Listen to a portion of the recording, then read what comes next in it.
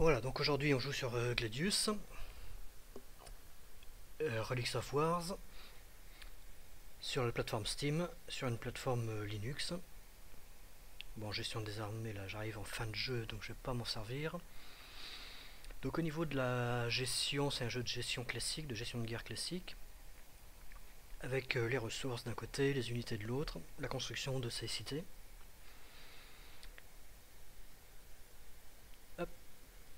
Donc là moi j'ai fini le tour, donc moi je joue Space Marines avec deux factions Imperium, une faction du Mechanicus. On jouait bah, contre les orques, contre les tyrannides qui sont quasiment les derniers restants, oui c'est ça, il doit y avoir un ou deux survivants Eldar peut-être. Il y avait, il y avait aussi du taux. Moi j'aime bien faire des armées comme ça extrêmement grandes avec beaucoup beaucoup beaucoup beaucoup d'unités, beaucoup beaucoup beaucoup de factions ennemies.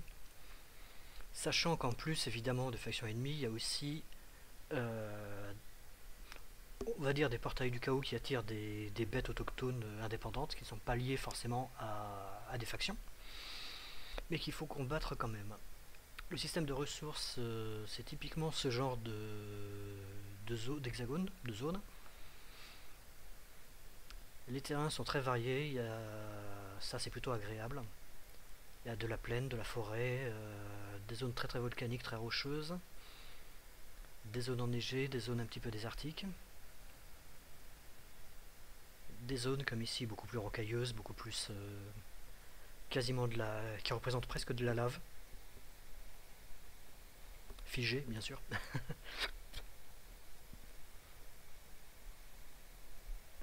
Les autres trucs très agréables du jeu, c'est évidemment que bah, les... les unités sont super bien représentées, on dirait vraiment les, les figurines officielles. Hop là, tiens d'ailleurs je reprends mon tour de jeu du coup, puisque les unités alliées ont déjà joué. Alors cette fois-ci je joue pas en réseau, cette fois-ci je joue en local pur. C'est-à-dire qu'il n'y a que moi en tant que joueur et l'ordinateur gère mes alliés aussi en plus de gérer les ennemis. Ah, là, il va prendre ça dans la tête.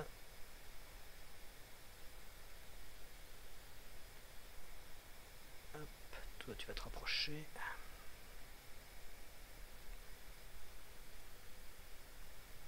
Hop, toi aussi.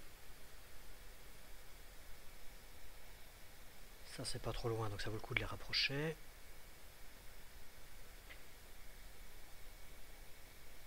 En fin de partie comme ça, bon là c'est gagné d'avance, il n'y a plus rien à plus rien à massacrer on va dire. L'empereur a protégé tout le monde depuis euh, plusieurs heures, depuis 72 tours précisément. Ça change un peu du jeu de plateau où en quelques tours en général euh, la bataille est terminée. Donc moi j'aime bien jouer comme ça en mode euh, en mode bataille géante. Il faut beaucoup beaucoup de tours par contre pour le terminer. Donc sur plateau ce serait absolument pas faisable. L'autre avantage bien sûr c'est que là on n'a rien à construire, rien à, rien à peindre, donc euh, on n'a pas le plaisir modéliste. En revanche on a quand même euh, la possibilité de faire des batailles de fous qu'on ne ferait jamais sur plateau. Quant aux unités, elles sont super jolies quoi. Alors ça rame un peu parce que je capture en même temps et que je bouge les et que je bouge l'écran pour les montrer, mais euh, ce tyrannide là est super joli par exemple. Donc après au niveau du détail des unités, on a toutes les fonctions spéciales bien sûr, et les fonctions de base comme euh, bah, passer, euh, tenir jusqu'à guérison, tenir la position bien entendu. par défaut c'est état d'alerte, c'est-à-dire qu'on bouge pas, mais si une unité approche, ça se défend. Et on peut bien sûr disloquer l'unité si on le souhaite.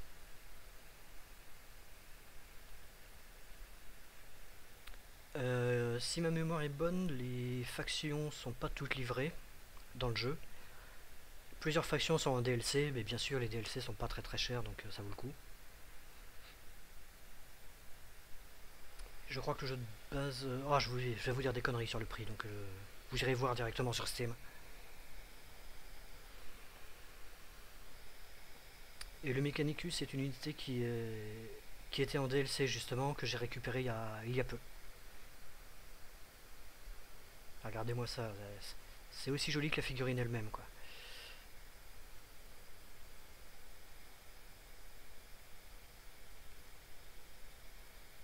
Bon, tout ce qui reste c'est Denis Tyrannide, donc là je vais laisser la vidéo jusqu'au bout. De toute façon ça va aller très très vite.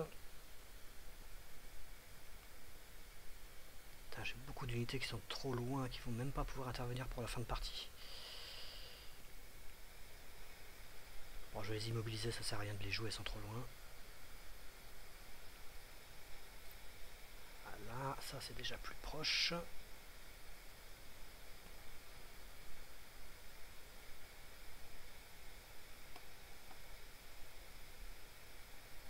On va bombarder celui-là pour qu'il n'aille pas fonder une autre ville.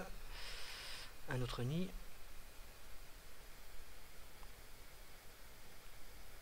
On va l'éliminer au passage.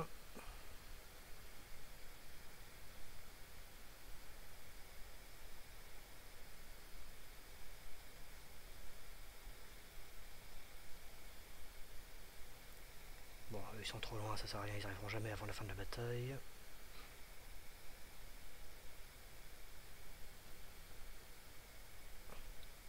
Chose, donc je vais leur dire de plus bouger, ça sert à rien.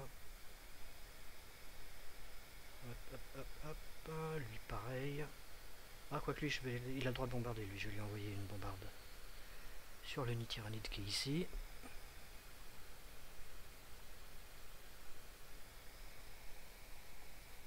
Bon, il y a encore des unités dans le fil d'attente, mais bon, je vais les laisser quand même, c'est juste euh,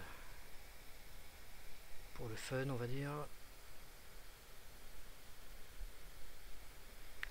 Alors, comme dans beaucoup de jeux vidéo, il y a un arbre de recherche pour euh, libérer les, unités des différentes factions, ou les pouvoirs, peu importe. Alors ça va jusqu'au rang 10 avec quand même, euh, même le macro canon il y. Les silos à missiles des forteresses de rédemption, il y, a, vraiment plein plein de trucs, c'est super cool, ça ressemble vraiment à du workshop. Je pense qu'ils ont la licence euh, associée au niveau de l'éditeur du logiciel.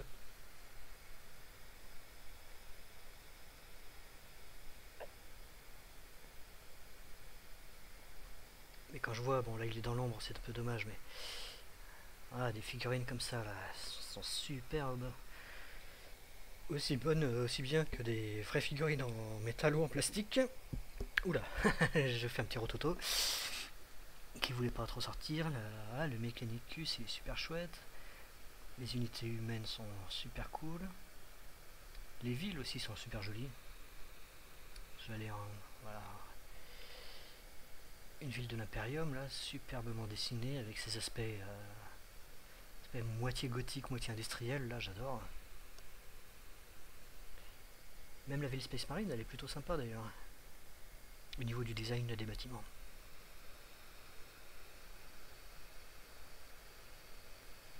Vraiment un jeu pas mal du tout. Et je disais oui tout à l'heure pour les ressources. Donc typiquement ici, euh, c'est une ressource qui a été capturée. Et bien sûr, les zones qu'on n'a pas visitées, pas capturées, sont dans un brouillard de guerre comme ça pendant euh, pratiquement tout le, tout le jeu jusqu'à ce qu'on accède évidemment à la zone. Regardez-moi ces, marcheurs à sentinelles, ils sont superbes. Les figurines sont vraiment chouettes. Enfin, je dis figurines par habitude, mais c'est bien sûr du pur sprite.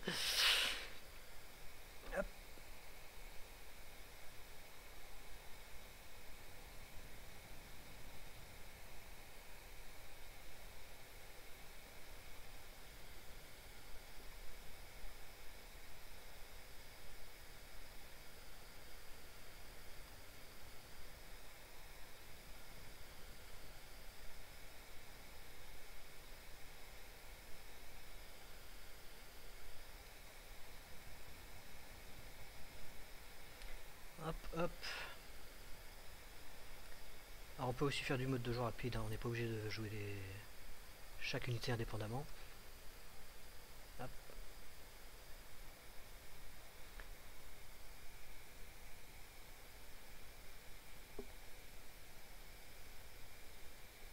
Alors, le seul gros défaut de ce jeu là, c'est qu'effectivement en toute fin de partie, comme ça, quand on fait des, des multiples factions qui se battent toutes plus ou moins entre elles, et en particulier comme moi là, où j'ai vraiment euh, lancé un match absolument immense, avec beaucoup beaucoup beaucoup de factions, et en arrivant en fin de jeu, bah du coup, euh, il n'y a quasiment rien à faire, parce que 5 ou 6 tours en avance de phase, on sait déjà qu'on a gagné, qu'on n'a plus rien à faire. Et là, c'est concrètement ce qui se passe. C'est vraiment le, le vrai défaut du jeu, il est là en fait.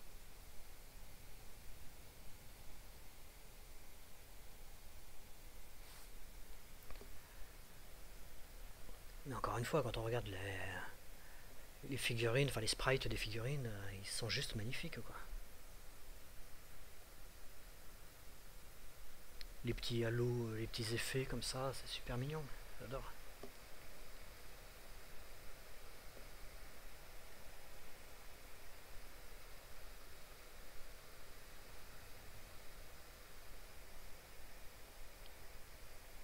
une ville tyrannie en parfait état.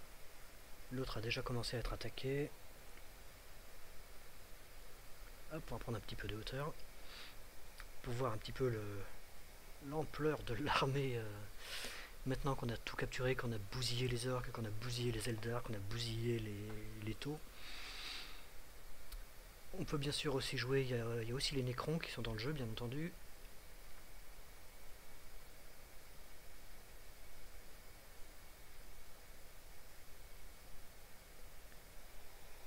Un truc qui est agréable aussi, c'est qu'on peut jouer aussi bien bah, de tous les types d'unités. Bon là je passe, un On peut jouer tous les types d'unités. Mais surtout on peut faire des équipes.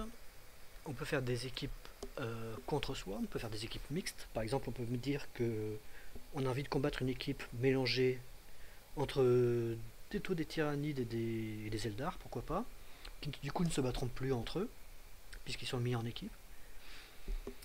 A l'inverse, si on prend les, mêmes adversaires, mais qu'on leur donne pas d'équipe, ils vont éventuellement se battre entre eux pendant que nous-mêmes on les attaque aussi. Ce qui fait qu'on peut très très vite se retrouver avec un plateau de. avec une zone de jeu où bah, le joueur va se retrouver à combattre euh, tous contre tous. Donc euh, dans mon exemple, euh, des Eldar contre des Tyrannides, contre des Tau, contre des Space Marines, contre de l'Imperium par exemple. Euh, il y a aussi les Space Marines du chaos dans le jeu d'ailleurs. Euh, je crois même qu'il fait partie des unités de base, c'est-à-dire sans achat DLC. Donc là on est au tour 75 déjà. Je pense qu'il n'en faudra pas beaucoup plus, je pense qu'avant le tour 80 on a fini.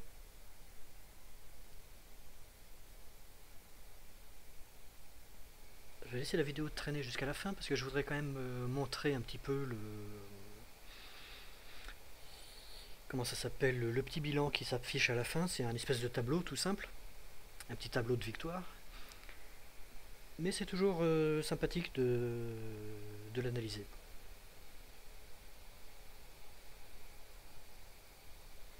Surtout que là, ça va aller très très vite maintenant.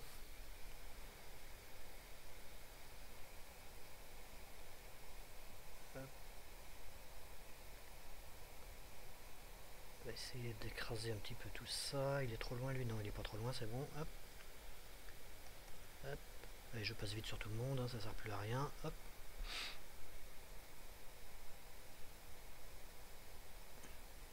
Voilà, ce nid est quasiment détruit.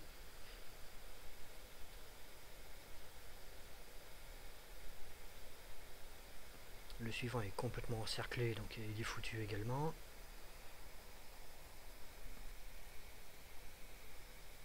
Ah oui, une autre chose agréable quand on joue avec des, équipes alliées, des unités alliées, c'est... Alors, je vais essayer de le faire dans une zone où il n'y a rien. Voilà, comme ça. On peut mettre un petit marqueur comme ça avec ce genre de flèche. Pour dire qu'on veut aller à cet endroit-là et qu'on veut que les unités alliées aillent là.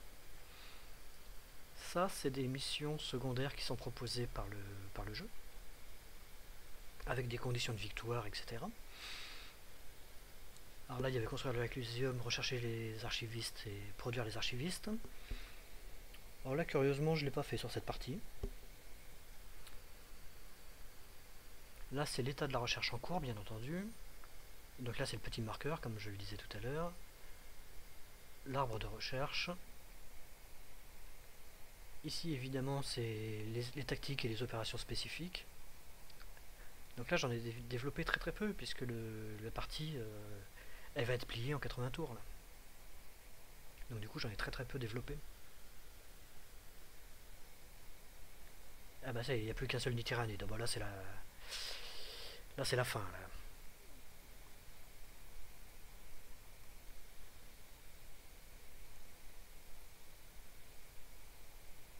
Je peux même approcher, c'est génial.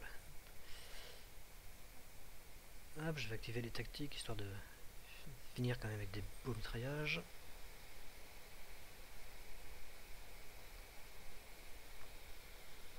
Allez, zouf. Allez, le reste on laisse tomber, on joue pas. Tac, tac, tac, tac, tac, tac. Voilà.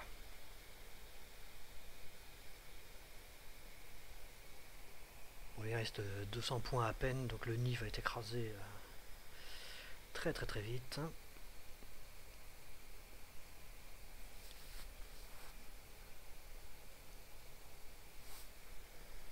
Complètement encerclé, là il peut rien faire.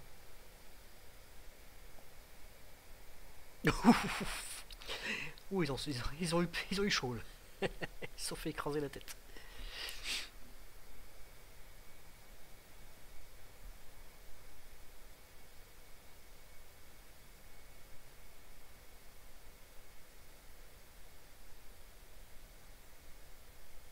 Ah, le tank qui tire de loin, bien entendu.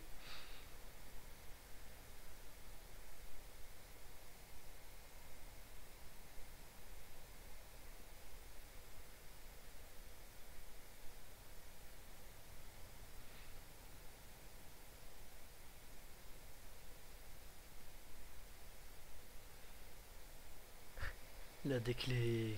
Combien il reste euh, Quasiment. Il reste 1, 2, 3, 4, 5, 6 ternides, 7 ternides. Bon, plus les petites grottes ici. Là. Dès qu'on arrive à vraiment encercler la ville, après c'est terminé.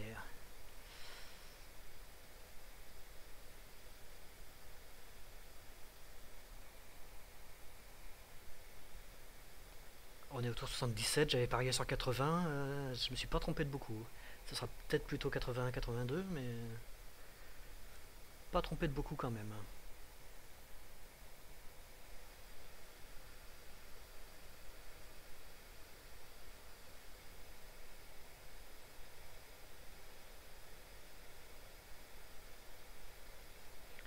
Donc là, quand une recherche est terminée, on a toujours un petit bilan comme ça qui explique euh, vraiment ce que ça fait, etc. Ça complète un petit peu l'aspect stratégie, forcément.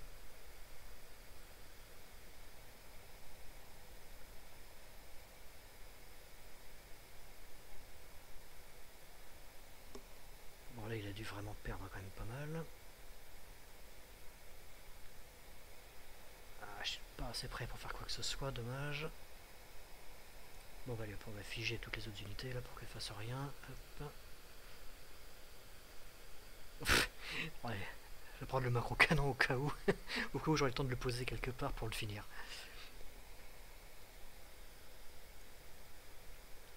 Mais bon, si j'arrive à le poser, euh, il restera plus un tour derrière. Hein. Ah non, il faut 7 tours pour le développer, oui, donc euh, la partie sera finie avant.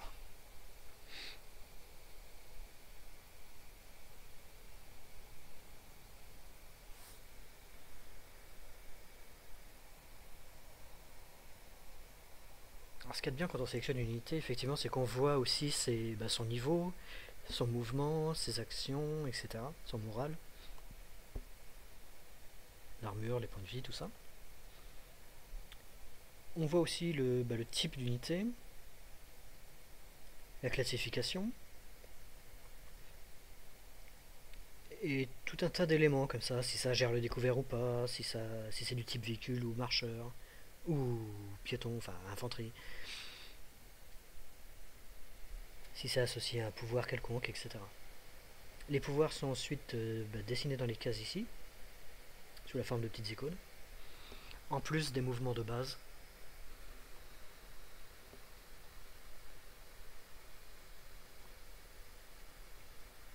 Alors, il en est où notre nid? Oh la vache, il a plus que 130 points. ah oui, donc là c'est vraiment fini de chez fini. 113. 108.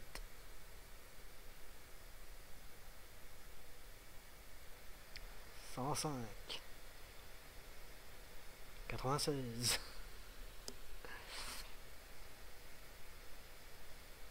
89. 83.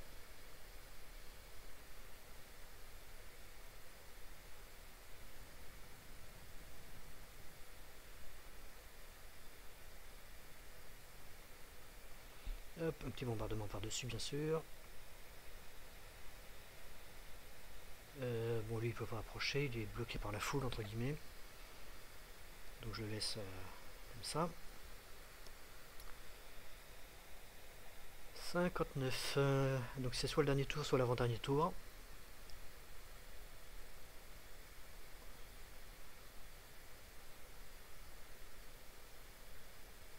Donc les alliés se réorganisent complètement pour essayer de s'approcher bien sûr.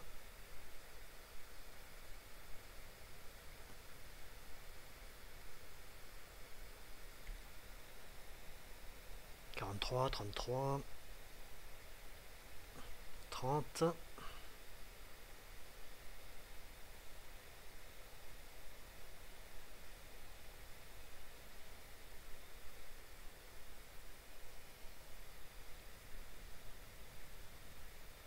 18,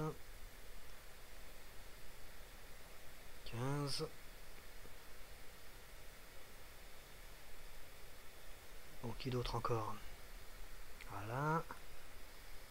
Alors qui c'est qui va l'achever du coup? C'est l'avion.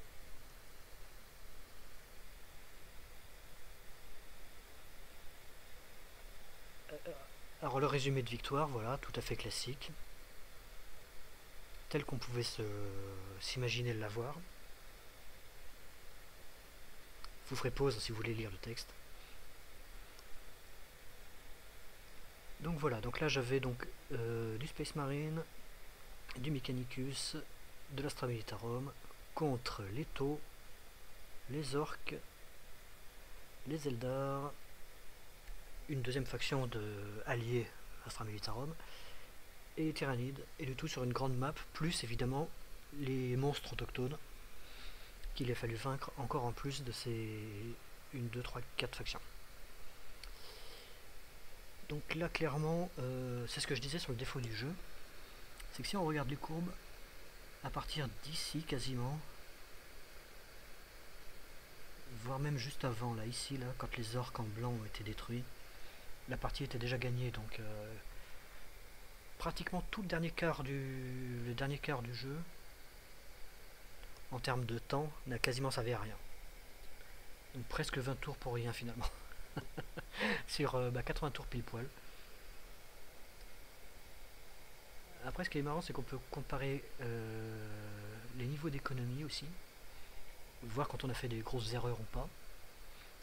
Pareil dans le domaine militaire, à quelle vitesse on a fait progresser nos armées.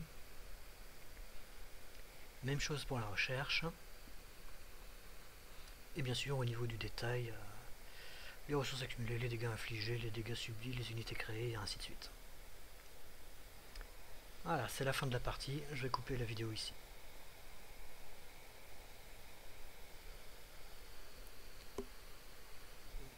Donc le menu, hein, voilà, tout, simple. Euh. et c'est ce que je disais, on peut jouer sur internet en mode multijoueur. Je vais quand même montrer très très rapidement comment on peut définir une nouvelle partie. Admettons que je veuille plus de plus de choses que je veuille rajouter, je sais pas, là j'ai trouvé la partie un peu facile, des écrans. Il n'y a pas une couleur un peu dégueulasse, l'histoire de bien les repérer. Space Marine du chaos, donc voilà, donc là actuellement j'ai l'Adeptus Mechanicus, les Eldari vaisseaux monde, l'Astromilitarum, les Necrons, les Orcs, les Space Marines, les Space Marines du Chaos, les Taux, les Tyrannides, le mode aléatoire. On peut même mettre un mode spectateur, effectivement. Je m'en suis jamais servi pour l'instant, mais voilà. On peut définir des tailles de terrain différentes. Et si on veut vraiment s'amuser, bah voilà, tiens, on peut activer les DLC qui nous intéressent. Ou les désactiver.